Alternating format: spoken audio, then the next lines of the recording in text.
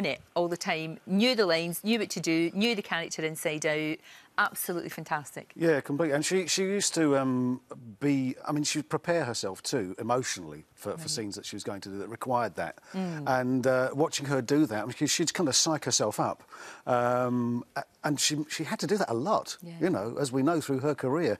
Um, she really had to sort of get into that zone. Um, and some, of- some of her scenes are kind of incredibly powerful because of that, I think. No, very much so. I mean, we've, we've talked about it a bit, but um, it's it's going to be hard actually to watch that tonight. And it must have been really hard for the cast as well. Oh, because God, they're not yeah. just saying bye bye to obviously a, a much loved character, they're saying Yeah. a friend and somebody that they loved in real life too. It's going to be so difficult. I mean, well, it's been difficult. They've obviously Sure. Mm. already filmed it, that- and they, they've gone, gone through that, and they're going to have to go through it again because it's being shown. Yeah. It's difficult, you know, because it's not like real life. No, that- you know, true. that's the way. As you know, you know, TV land isn't like real life. You know, you go out the studio, you trip over the cables. that's a sort of metaphor for life, and uh, uh, sh- Yeah, it's yeah. going to it's going to be tough for them. yeah. Yeah,